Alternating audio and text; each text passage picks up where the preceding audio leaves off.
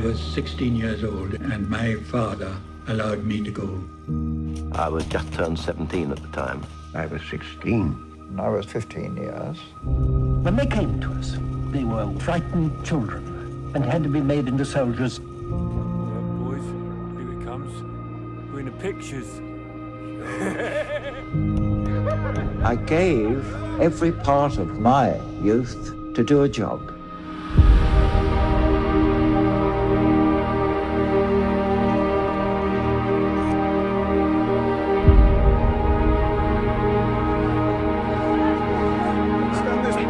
Trench over there.